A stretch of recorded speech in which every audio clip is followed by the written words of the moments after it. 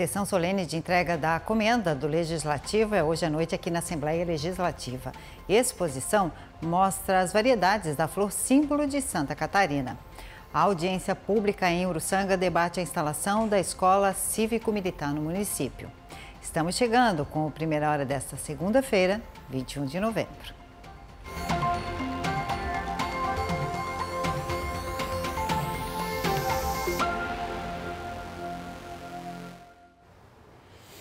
Olá, bom dia. A Assembleia Legislativa de Santa Catarina promoveu uma audiência pública em Uruçanga para debater a instalação de uma escola cívico-militar no município.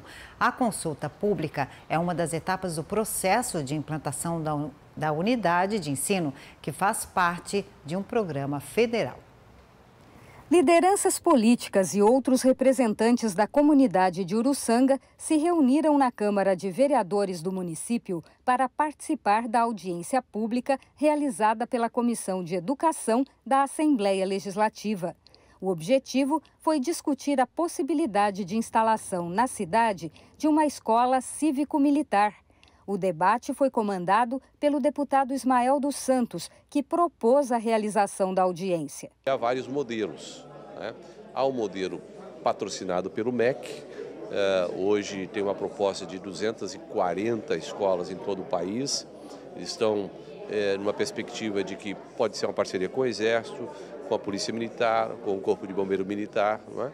E há um modelo que já está em andamento em Santa Catarina, através da Secretaria de Educação e a Polícia Militar. Hoje temos oito escolas eh, que estão nesse modelo, funcionando no estado de Santa Catarina.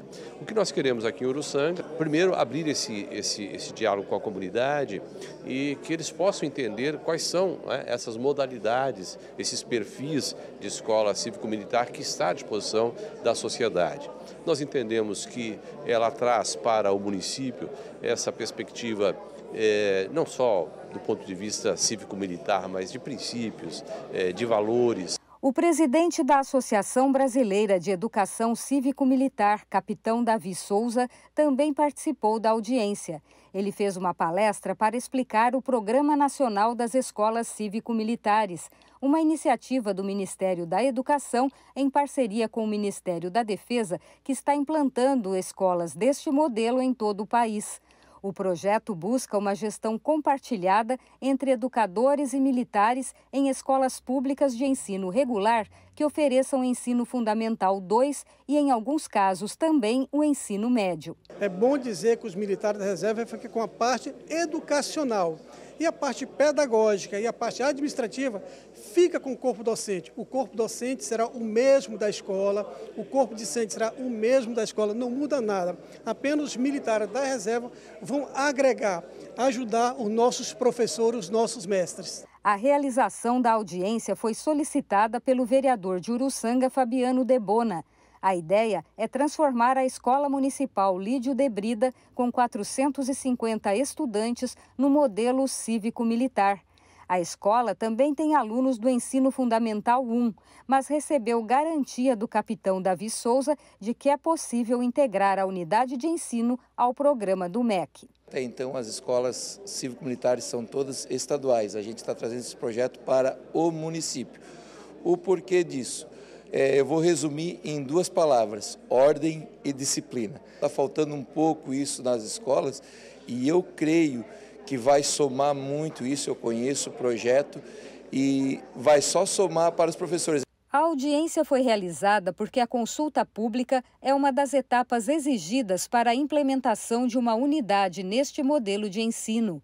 O próximo passo deve ser a aprovação pela Câmara Municipal de um projeto de lei autorizando a transformação da escola em cívico-militar.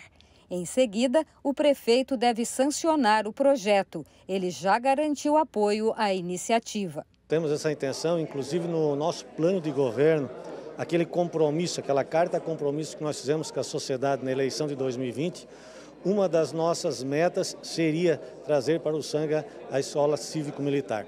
Nosso objetivo é, eu acho que a maioria de todos os municípios que buscam isso, é nós conseguirmos ah, formarmos novamente na cabeça das nossas crianças, dos nossos adolescentes, a importância do patriotismo, a importância do respeito à pátria. Lançado na Assembleia Legislativa, o livro que conta a história e registra as principais conquistas da Associação Capitão Osmar Romão da Silva, que reúne oficiais da Polícia Militar e do Corpo de Bombeiros de Santa Catarina. O hall do Palácio Barriga Verde recebeu oficiais da Polícia Militar e do Corpo de Bombeiros Militar de Santa Catarina, além de outros convidados que participaram do lançamento de um livro sobre a ACORS, Associação Capitão Osmar Romão da Silva. A entidade completa 23 anos e reúne a maioria dos oficiais das duas corporações. São aproximadamente 1.300 associados. O livro é uma edição de luxo em capa dura, contando a história da entidade em 200 páginas ilustradas. No mesmo espaço do lançamento do livro, foi montada uma exposição sobre a Acors, que trabalha para o fortalecimento da categoria. Através desse fortalecimento da classe, foi possível, em 2006, em Santa Catarina, fundarmos a Federação Nacional dos Oficiais Militares Estaduais, a FENEM, e, além disso, fundarmos também em Santa Catarina a Academia de Letras dos Militares Estaduais, em 2012, e agora, em 2018, a Academia Nacional de Letras dos Militares Estaduais. Tudo isso para dar visibilidade aos militares, aos policiais e bombeiros, para mostrar para a sociedade quem são os militares estaduais. O deputado Coronel Mocelin é oficial do Corpo de Bombeiros Militar e associado da Acors desde a fundação. Ele participou do lançamento do livro, que relembra a coragem dos 31 signatários da primeira ata, mobilizados para criar a Associação de Oficiais Militares numa época em que prevaleciam os clubes sociais. Nós tínhamos antigamente só um clube, né, clube recreativo. E aí houve a necessidade de nós termos representantes também na questão dentro da Assembleia, no Congresso Nacional, até juridicamente, que representasse a nossa associação, nossos oficiais. E onde foi fundada a CORS e criou corpo e hoje realmente ela representa não só a, a, os oficiais de Santa Catarina, mas ele tem uma representatividade nacional, onde ele serviu de exemplo para muitos outros outros estados criarem as suas associações representativas. A jornalista Ana Lavrati é autora da obra. Ela destaca que algumas conquistas da Acors aconteceram com a participação do parlamento catarinense. Foi uma satisfação contar essa história e ver o quanto é possível construir, inclusive aqui dentro da, da Casa do Povo, com, com uh, tramitando entre os parlamentares, conscientizando os parlamentares dos diferenciais de uma carreira militar. E foi isso que proporcionou, então, que aqui na Assembleia Legislativa aprovassem o efetivo máximo das corporações. O livro Acors, Consolidando o Valor de Quem Comanda com Virtude, está à venda por 50 reais na sede da associação, no bairro Trindade, em Florianópolis. E ontem foi o segundo dia de provas do Enem. De acordo com o INEP, o Instituto de Pesquisas Educacionais Anísio Teixeira, dos mais de 330 mil inscritos, cerca de 99 mil compareceram aos locais de votação. A taxa de abstenção foi de cerca de 70,5%. Os resultados do Enem serão divulgados no dia 11 de fevereiro. Então, fiquem atentos e boa sorte aí para todo mundo que fez o Enem. A seguir, as informações sobre a sessão solene de entrega da comenda do Legislativo. Até já.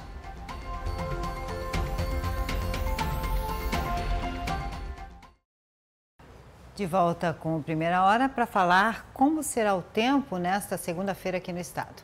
De acordo com a Ipagre Ciran, teremos aumento de nuvens. Do extremo oeste ao litoral sul, chuva no decorrer do dia, atingindo as demais regiões a partir da tarde. Olha só, condição de temporais localizados com granizo, temperatura elevada. No oeste, a máxima de 30 graus, 33 na Serra e também no sul do estado. 29 aqui na Grande Florianópolis, 32 no Vale do Itajaí e também no norte. Temperaturas realmente bastante altas aí no estado. Bom, e quem vier ao parlamento poderá visitar a exposição com as 27 variedades da flor símbolo de Santa Catarina. Se aí sabe qual é? Então veja na reportagem. O mês de novembro é o auge da floração da Laélia purpurata, flor símbolo de Santa Catarina desde 1983. Uma lei aprovada na Assembleia Legislativa e proposta pelo deputado Aldo Pereira de Andrade tornou a espécie nativa do estado oficialmente um ícone dos catarinenses. Neste mês, uma exposição de ilustrações botânicas com as 29 variedades da flor que ocorrem na natureza vai ficar disposta no Espaço Cultural Cruz e Souza, localizado no Parlamento. É uma demonstração de amor é, pelos que cultivam a orquídea, pelos que estudam a orquídea, e aqui estão expostas as 27 variedades que a Lélia purpurata tem é, na natureza. Os quadros ficarão expostos entre 16 de novembro e 16 de dezembro e foram produzidos por vários ilustradores do estado. A curadoria é do botânico Marcelo Nascimento. Fez por bem a tentativa de se criar uma lei que instituísse ela como uma flor símbolo de Santa Catarina, através da Assembleia Legislativa, e a flor símbolo de Florianópolis, que aqui é o berço da Lélia Purpurata. O presidente da Assembleia Legislativa, deputado Moacir Sopelsa, recebeu aqui no parlamento o governador Jorginho Melo. Veja aí como foi esse encontro. O governador eleito de Santa Catarina, Jorginho Melo, fez a primeira visita após a eleição ao parlamento nesta quinta-feira. Ele foi recebido pelo presidente da Assembleia Legislativa, deputado Moacir Sopelsa. No encontro, foi reforçada a importância do bom relacionamento entre os poderes. Vim aqui para demonstrar ah, o meu respeito pela Assembleia, a valorização, a forma que eu quero trabalhar com a Assembleia, uma forma é, colegiada, a gente possa discutir as matérias importantes para o Estado. Né? Eu acho que isso a gente consegue evoluir, ter mais fluidez naquilo que a gente vai encaminhar para cá. Uma boa conversa, é, de forma muito respeitosa, isso não faz mal em lugar nenhum.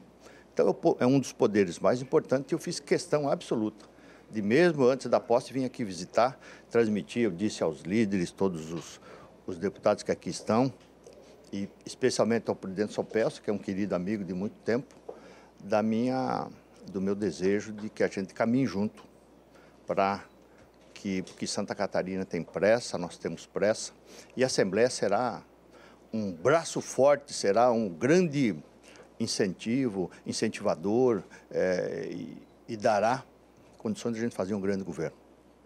E eu tenho certeza que o parlamento, é, posso falar em nome dos 40 parlamentares, é, serão parceiros em todas as ações boas para o estado de Santa Catarina. Os poderes, senador Jorginho Melo, eles são independentes, mas eles têm a obrigação de serem é, é, é, harmônicos. Né? E, e, e, essa casa pode contribuir muito com o governo. E eu tenho certeza que o senhor fará é, um bom governo pelo seu conhecimento, pela sua experiência. Nós conversamos há pouco aqui é, em que a sua sensibilidade, é, a sua maneira de ser, a sua humildade, gente que vem de família humilde, que, que sabe o quanto é difícil é, é, é, fazer as coisas acontecer, eu não tenho dúvida nenhuma que saberá fazer um grande governo. E aqui todos vão, vão torcer para que possa ser, de fato, é, um grande, um bom governador para o estado de Santa Catarina. É um prazer recebê-lo aqui e desejar que Deus lhe abençoe. Eu sei que o senhor é um devoto da Nossa Senhora Aparecida, ela vai estar sempre viva. Um abraço. Bom, e antes de encerrar, vamos falar da comenda do Legislativo. A Daniela Legas, da Agência L, vai trazer alguns dados sobre essa honraria. Bom dia, Dani. Olá, Cláudia. Bom dia. Bom dia também a todos que nos acompanham. Bom, chegou o dia da entrega da comenda do Legislativo Catarinense.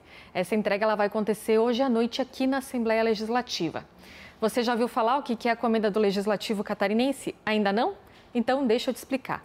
A comenda, ela é a honraria mais importante que a Assembleia Legislativa concede aí a pessoas e a instituições que fazem um trabalho de relevância aqui em Santa Catarina. É uma forma do Parlamento catarinense, dos deputados estaduais reconhecerem trabalhos de destaque que são desenvolvidos por personalidades catarinenses, né? Tanto pessoas quanto instituições, quanto empresas, associações é, que são aí, então, fazem um trabalho bastante importante para Santa Catarina e que, por isso, é, merecem esse tipo de destaque, né, esse tipo de reconhecimento. Essa comenda, ela é é, de maneira é, para entender mais, né, é, durante essa cerimônia que vai acontecer hoje à noite, todas essas pessoas, essas personalidades e instituições, elas vão receber uma medalha. É uma medalha que tem aí uh, o escudo de Santa Catarina, né, escrito também comenda do Legislativo Catarinense. Então, cada, uma, cada um dos homenageados vai receber essa medalha aí como forma de homenagem, de reconhecimento do parlamento catarinense pelas ações aí que, que foram desenvolvidas por essas personalidades. Esse tipo de homenagem acontece desde 2008 e acontece aí todos os anos, é anual. Cada um dos deputados, dos 40 deputados estaduais, eles podem indicar uma pessoa ou uma instituição para receber essa honraria. Este ano serão 39 homenagens, tá? É, é, 30, serão 30 pessoas e nove é, instituições e associações que vão receber essa homenagem do parlamento catarinense. Antes de 2008, que é quando a comenda ela foi instituída, a Assembleia Legislativa ela tinha aí 15 honrarias diferentes que eram entregues é, conforme aí a, as áreas né, de atuação das pessoas que eram homenageadas.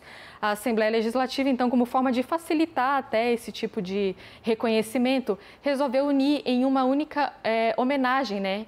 é, criando daí a comenda do Legislativo Catarinense, que é a mais importante, que é a única que a Assembleia Legislativa aí entrega anualmente para pessoas, né, para essas personalidades aqui de Santa Catarina. E hoje daí vai acontecer a sessão especial para entrega dessa honraria. Muito obrigada, Dani. Lembrando que a reportagem completa você acompanha na Agência L, nos outros órgãos de comunicação aqui da Assembleia e também, é claro, aqui na TVAL. Lembrando também que a partir das seis e meia da tarde, a TVAL transmite tudo o que vai acontecer no plenário, sete horas da noite, para entrega, para a entrega da comenda do Legislativo. Então, a gente espera a partir das seis e meia. Bom dia para todos, uma boa semana e até amanhã.